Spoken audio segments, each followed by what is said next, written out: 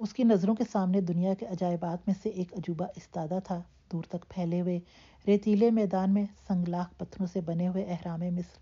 न जाने ये पत्थर कहाँ से लाए गए थे। एक हैरत अंगेज बात थी, जिसे अभी तक माहरीन समझ नहीं पाए थे। इस रेगिस्तानी इलाके में इतने बड़े दो हैकल पत्थर कैसे लाए गए? अहराम मिस्र, काहिरा से मगरब की जानब गिज गिज़ा के मुकाम पर थे। यहाँ पर गैर मुल्क सियाहों का रश रहता था। पिछले दो सालों में न जाने क्यों इसका एक बार भी यहाँ आने को जी नहीं चाहा। हज़ारों सालों से बने हुए इंस, इंसानी शाहकार ने कभी उसको इतना इंस्पायर नहीं किया कि वो यहाँ आए, लेकिन आज ना जाने क्यों वो अपनी छुट्टी गुजारने के लिए यहाँ चला आया था।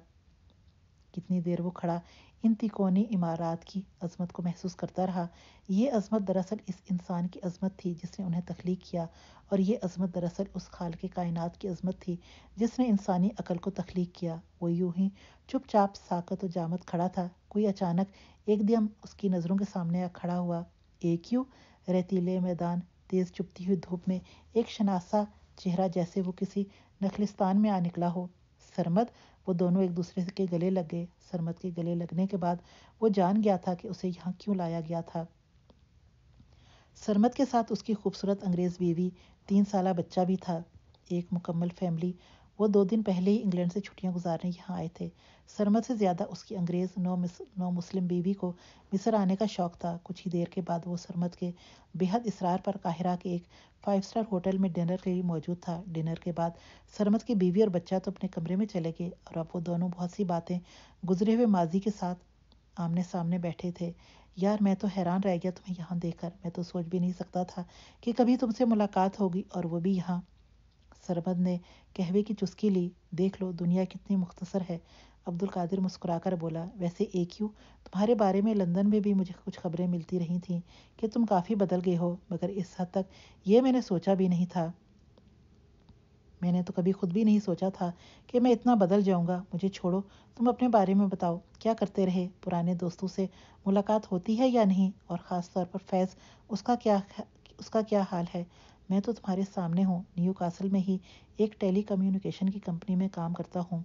वहीं पर मेरी मुलाकात जैनी से हुई थी। चार साल पहले हमने शादी कर ली।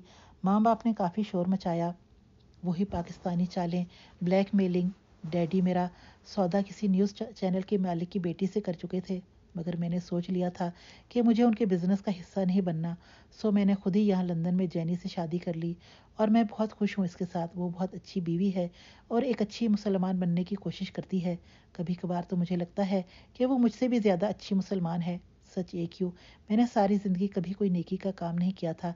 सोचा, चलो इस एक नेकी के बदले शायद अल्लाह ताला अल्लाह ताला मेरा दाखला भी जन्नत में कर दें। सरमद मुस्कुराकर बोला, और बाकी दोस्तों से अब मिलना मिलाना ना होने के बराबर ही रह गया है। सिर्फ़ वैस है जिससे मैं कभी कभार मिलता हूँ, वो भी जब लंदन जाऊँ तो। तुम्हें बहुत याद करता है। तुम तो तुमने तो यार अपने सारे कांटेक्ट ही ख़त्म कर दिए थे। मैंने कई बार चाहा कि तुम्हें फैज़ के बारे में आगाह करूँ, मगर किस पते पर, किस फ़ोन नंबर पर? क्या हुआ फैज़ को?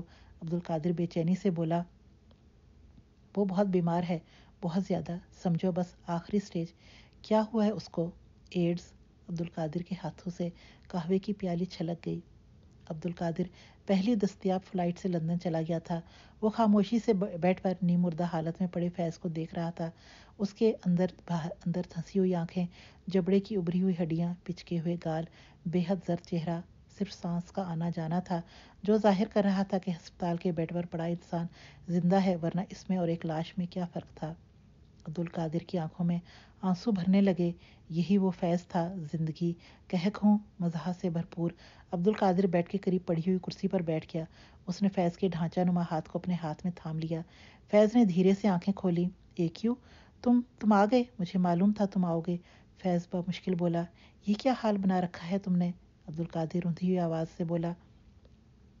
मुझ जैसे गुनागार का यही हाल होता है। मैंने तुम्हारा कितना इंतज़ार किया एक तुम आए ही नहीं। मैं हर रोज़ दरवाजे की जानब देखता था। इस उम्मीद पर कि तुम आओगे, तुमने इतनी देर कर दी। देखो, मेरे जाने का वक्त आ गया। फैज़ रुक रुक कर बोला, चुप, कैसी नाउमीदी की बातें करती हो? अब मैं आ गया हूँ। अब मैं तुम्हें कहीं नहीं जाने दूँगा। अब्दुल कादिर ने मजबूती से उसका कमज़ोर हाथ थाम लिया। फैज़ ने आँखें बंद कर लीं। उसके चेहरे पर फैला कर्ब कुछ देर के लिए सुकून में बदल गया था। दोनों खामोशी से एक दूसरे को वजूद को महसूस करते रहे। फैज़ अब्दुल कादिर के वजूद में फैले सुकून और तमानियत को अब्दुल कादिर फैज़ के दुख, कर्ब और नारसाई को दोनों खामोश थे। एक यू एक यू यार, तुम अब्बा जी से मिले थे। फैज़ के लफ्ज़ों में बरसों की तड़प और उदासी कतरा कतरा टपक रही थी। हाँ मिला था। तुम्हारे तोहफे भी उनको दे दिए थे। बिल्कुल ठीक है वो। तुम्हें बहुत याद करते हैं। सारा वक्त तुम्हारी ही बातें होती रहीं। तुम्हारे भाइयों से, तुम्हारी भाभीियों से सबसे मुलाकात हुई। यार, तुम्हारे घर में तो खूब रौनक है, खूब हल्ला गुल्ला बच्चे, लोग, बड़े मज़े हैं, बड़े मज़े में हैं वो। बस तुम्हारी कमी है वहाँ, सभी तुम्हें, अब्दुल कादिर, अपने दानिश में फैज़ को खुश करता चला गया। तुम्हें झूठ बोलना नहीं आता, मेरी दोस्ती ने तुम्हें झूठ बोलना भी नहीं सिखाया। फैज़ उसकी बात काट कर हंसने लगा हँसते हँसते उसको खांसी आने लगी। कुछ देर के बाद वो खामोश हो गया। मैं जानता हूँ एक यू अब्बा जी बहुत अकेले हैं, तनहा हैं। तुम मुझे उनके पास ले जाओगे? क्यों नहीं फैज़? हम दोनों चलेंगे। अब्दुल कादिर ने मोहब्बत से कहा, एक यू मैं ज़्यादा बोल नहीं सकता। बोलने से मुझे तकलीफ़ होती है। आज मैं सिर्फ़ सुनना चाहता हूँ। मैं तुम्हारे मुतालिक जानना चाहता हूँ। तुम कौन हो, एक यू या अब्दुल कादिर? मैं अब्दुल कादिर हूँ फैज़। अब्दुल कादिर धीरे धीरे उसका हाथ थामे बोलने लगा, तुम्हें वो रात याद है फैज़? मेरे घर पार्टी थी। मैंने अपने सेहत याब होने की खुशी में तुम सब दोस्तों को इनवाइट किया था। वहाँ पर तुमने नील को देखा था। बस फैज़, उस रात उस रात मैंने भी अपने आप से सवाल किया था कि मैं कौन हूँ? जब नील ने मुझसे कहा था कि मुझे अल्लाह और उसके आखिरी रसूल सल्लल्लाहु अलैहि वसल्लम के वास्ते जाने दो। मेरे जज्बात में इस कदर ही जान बरपा था, मगर नील के इस फकरे, फिक्रे ने मेरे वजूद पर ऐसा चाबुक रसीद किया कि मैं सर से पाँव तक लरस कर रह गया था। वो मेरे अपार्टमेंट से चली गई और मेरे पूरे वजूद में अंधेरा छा गया। अब्दुल कादिर फैज़ का हाथ पकड़े आहिस्ता आहिस्ता बोलता चला गया, कितने लोगों ने उससे यह सवाल किया था, मगर उसने कभी भी इस सवाल का जवाब नहीं दिया। मगर आज वो बता रहा था इस लम्हे के बारे में जिसने उसको पूरे, का पूरा बदल डाला था। अस्पताल के बाहर बड़ी तूफ़ानी हवाएँ चल रही थीं, शदीद बर्फ़बारी हो रही थी। अब्दुल कादिर कुछ देर खिड़की से बाहर देखता रहा, फिर उसने फैज़ की जानब देखा। वो चली गई थी फैज़, न जाने क्यों उसके जाते ही मुझे बेपना अंधेरे का एहसास होने लगा। मैंने दीवानावार उठकर पूरे अपार्टमेंट की लाइट्स ऑन कर दी, मगर अंधेरा था कि बढ़ता ही जा रहा था। मेरी आँखों को रोशनी महसूस ही नहीं हो रही थी। मैं चीखने लगा, चिल्लाने लगा, मुझे लगा, मैं अंधा हो गया हूँ। मैंने हिजियानी अंदाज में पूरे अपार्टमेंट में तोड़फोड़ शुरू कर दी और फिर बेदम होकर सोफे पर गिर गया। मैंने जाने कितनी देर बेहोश पड़ा रहा। नील का मतलब होता है रोशनी। जब मुझे होश आया तो पहली आवाज़ मेरे दिमाग में ये गूंजी, वो रोशनी थी फैज़, वो मेरे घर से चली गई थी। मैंने सोफे पर पड़ा हुआ उसका कोट हाथों में थामा और दीवाना वार उसे लंदन की सड़कों पर ढूँढने लगा, मगर वो मुझे कहीं नहीं मिली। मैंने तुम सबसे कता ताल्लुक़ कर लिया। तुम तो जानते हो फैज़, मैं इस ज़माने में किसी से नहीं मिलता था, फ़ोन भी अटेंड नहीं करता था, सारा दिन घर में नशे में धुत रहता था और जब कभी होश आता तो इस रोशनी की तलाश में निकल जाता, जिसे मैंने अपनी जलालत के बायस खुद से दूर कर दिया था। उसका कोट हाथों में थामे, लंदन की सर्दी की परवाह किए बगैर। मैंने उसे कहाँ कहाँ नहीं तलाश किया? जब कभी सर्दी ज़्यादा सताती तो मैं वही कोट अपने कंधों पर डाल लेता। नाकाम, नामुराद अपने अपार्टमेंट में आता तो वही अंधेरे मेरे मुंतज़र होते। सोने के लिए लेटता तो उसका कर्ब दुख और दिल गिरफ़्तार चेहरा मेरी नज़रों के सामने आ जाता। और फिर उसका कहना, मुझे अल्लाह और उसके रसूल सल्लल्लाहु अलैहि वसल्लम की खातिर जाने दो। कौड़े की तरह मेरे वजूद पर बरसता और मैं पसीने में शराबूर हो जाता और फिर शायद अल्लाह को मेरी हालत पर तरस आ गया। एक रोज़ वो मुझे मिल गई, मगर कहाँ? कैसी अजीब बात है, फैज़। वो भी मुझे हॉस्पिटल के बेड पर बीमार पड़ी मिली थी। वो बेहद बीमार थी, मगर बेहद पुरसकून। कैसी अजीब बात है ना, फैज़। उसने मुझे देखा और इतमान से आँखें बंद कर ली। I am sorry, Nell. Please मुझे माफ़ कर दो। मैं उसके करीब कुर्सी पर बैठ गया। मैंने बगौर उसको देखा। वो इंतहाई बदशक्ल होने के बावजूद बदशक्ल नहीं लग रही थी उसके चेहरे पर। अजीब सी रोशनी थी, ग्लो सा था। उसके वजूद की रोशनी से मुझे अपने अंदर के अंधेरे छटते हुए महसूस होने लगे। मैंने तुम्हें माफ़ किया, अब्दुल कादिर। वो कुछ देर के बाद अटक अटक कर बोली और मैं हैरान रह गया। यहाँ लंदन में पहली बार पहली बार किसी ने मुझे अब्दुल कादिर के नाम से पुकारा था। तुम्हें कैसे पता चला कि मेरा नाम अब्दुल कादिर है? मैंने हैरानी से पूछा, जिस रात तुम मुझे जख्मी हालत में मिले थे, तुम्हारे कागजात तुम्हारे करीब गिरे हुए थे, इनमें तुम्हारा शनाख्ती कार्ड भी था, उसका नाम भी अब्दुल कादिर था, जिसने मुझे नील कोंची खट्टी नाल नील को सड़क के किनारे से उठाया था, जिसने मुझे जख्मों से चूर चूर नील को अपने घर में पना दी थी, जिसने मुझे एक इंसान समझा, उसने मुझे औरत होने का एहसास दिलाया, तब मुझे पहली बार पता चला कि औरत कितनी काबिल एहतराम होती है।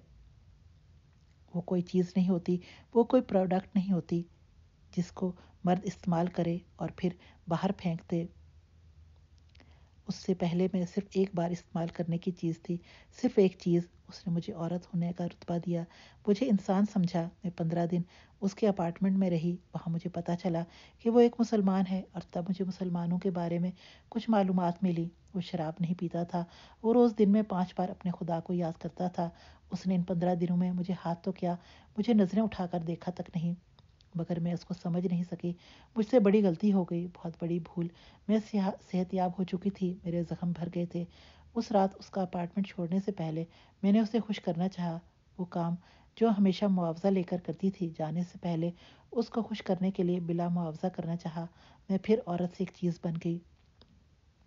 मैंने मैंने बेतकल्लफ़ी से उसका हाथ पकड़ लिया और उसे खुद से करीब कर लिया और फिर एक जन्नाटेदार थप्पड़ था जो मेरे चेहरे पर सख्त हो गया। निकल जाओ मेरे घर से। वो गुस्से से धाड़ा, मैं समझा था कि तुम मुझे समझ चुकी हो, मगर मुझे यूँ लगा, मेरा पूरा वजूद किरची किरची हो गया हो। मैं बेसाख्ता उसके कदमों से लिपट गई। आई एम सॉरी प्लीज़ मुझे माफ़ कर दो। मगर उसने मेरे, मगर उसने अपने पाँव मेरे हाथों से छुड़ा लिए। उसने मुझसे मुँह मोड़ लिया। मैं तुम्हारे जैसी बनना चाहती हूँ। मैं गिड़गिड़ाई, तुम अभी यहाँ से चली जाओ नील। अगर खुदा को तुम्हारी हदायत मकसूद हुई तो वो कोई ऐसा ज़रूर आएगा जो तुम्हें सीधे रास्ते पर डाल दे। लेकिन वो शायद, मैं नहीं हूँ प्लीज़ तुम यहाँ से चली जाओ। मैं नाकाम और नामुराद वहाँ से लौट आई और उसके बाद वो न जाने कहाँ चला गया। और जब मैं तुमसे मिली तो मुझे यूँ लगा, मुझे वो शख्स मिल गया है जो हदायत, भलाई और खैर के रास्ते की तरफ़ मेरी रहनुमाई करेगा। तुम भी तो अब्दुल कादिर थे। उसने मुझे एक बार अपने नाम का मतलब बताया था कि उसका बंदा जो हर चीज़ पर कादिर है, जो कुछ भी कर सकता है उस साथ के लिए कोई भी बात मुश्किल नहीं है। ये कहकर नील खामोश हो गई। उसके चेहरे पर थकन सी उतर आई थी, जैसे मीलों मुसाफत तय करने वाले मुसाफिर के चेहरे पर थकन उतर आती है। उसने आँखें बंद कर ली और खामोश हो गई। तुम कहाँ चली गई थी नील? मैंने तुम्हें बहुत तलाश किया। मैं उसकी खामोशी से घबरा कर बोला। मैं तुमसे मायूस होकर हदायत तलाश करने निकली थी, मगर सब कुछ जान लेने के बाद भी, सब कुछ मान लेने के बाद भी मेरे अंदर कमी सी थी। एक खला था जो पुर नहीं हुआ था। और फिर मेरे पास मोहलत भी कम रह गई थी। मेरी तलाश अधूरी रह गई। मैं इस अस्पताल में दिन गुन रही हूँ। तुम तुम ठीक हो जाओगी। मैंने उसे तसली दी। फिर हम दोनों मिलकर रोशनी, सच्चाई और हदायत को तलाश करेंगे। उसने सुकून से आँखें बंद कर ली। फैज़, उसने इसकी खातिर पहली बार कुरान पाक को तर्जुमे से पढ़ना शुरू किया। दीन के मुतालिक किताबों को पढ़ा। मैंने उसे लंदन के बेहतरीन अस्पतालों में शिफ्ट करवाया। मैं हर रोज़ उसके पास जाता और देर तक बैठकर उसको दीन इस्लाम की मुख्तु बातों से आगाह करता और सच फैज़ एक तरह से ये बातें मैं उसको नहीं, बल्कि अपने आप को बताता था। मुझे लगता था मैं इसको नहीं, खुद को सही कर रहा हूँ। तोहीद, नमाज़, रोज़ा, ज़क़़त, हज सब के बारे में मैंने पढ़ा, लाइब्रेरी जाता, वहाँ से मुख्तलिफ़ा की किताबें इकट्ठी करके ले आता और दिन रात उनके मुताले में गर्क रहता और फिर शाम को नील के पास जाकर उसको बताता। वो जहनी तौर पर जितना ज़िंदा होती जा रही थी, इतना ही जिस्मानी तौर पर मरती जा रही थी। उसका मर्ज कम होने के बजाय बढ़ता जा रहा था, मगर मैंने कभी उसको रोते सिस्कियाँ भरते नहीं देखा। वो बड़े सब्र और हौसले से मुस्कुराते हुए अपने मर्ज को झील रही थी। एक रोज़ ऐसी ही तूफ़ानी हवाएँ चल रही थीं, बहुत बर्फ़बारी हो रही थी। मैं बहुत मुश्किल से अस्पताल उससे मिलने गया। वो कमरे में बैठ पर बड़े सुकून से आँखें बंद किए लेटी थी। तुम आगे अब्दुल कादिर मैं तुम्हारा ही इंतज़ार कर रही थी। उसकी आवाज़ में बला का सुकून और इतमान इतमान इतमानियत थी। मैं मुस्कुरा कर उसके करीब बैठ गया। आज कोई ख़ास बात है? मैंने उसको गौर से देखा। हाँ मुझे जाना है और जाने से पहले मैं मुसलमान होना चाहती हूँ। मुझे कलमा पढ़ा दो। ये तो एक अलामती इजहार था। मुसलमान तो वो कब की हो चुकी थी? मगर मैं उसकी फरमाइश में अदब से खड़ा हो गया और मैंने कलमा पढ़ा। वो रुक रुक कर सही तलफ़ के साथ उसे दोहराती रही और फैज़, तब मुझे यूँ महसूस हुआ कि मैंने कलमा पढ़ाकर उसे मुसलमान नहीं किया, बल्कि उसने मुझे कलमा पढ़ाकर मुसलमान कर दिया है। उस दिन मैं नए सिरे से मुसलमान हुआ। मेरी आँखों से आँसू बहने लगे। मेरी बहती आँखों को देखने के लिए उसने अपनी आँखें नहीं खोली। वो चुपचाप चली गई और मैं उसके जाने से बेखबर ना जाने कितनी देर रोता रहा रोता रहा। वो वो जाते जाते मुझे हदायत के रास्ते पर डाल गई और तब मैंने जाना कि मैं कौन हूँ? मैं अब्दुल कादिर हूँ। अब्दुल कादिर खामोश हो गया क्योंकि उसके हाथों में दबा हुआ फैज़ का हाथ बेहद सर्द हो चुका था। तो मुझे जाने बगैर ही चले गए फैज़। अब्दुल कादिर की आँखों से आँसू बहने लगे।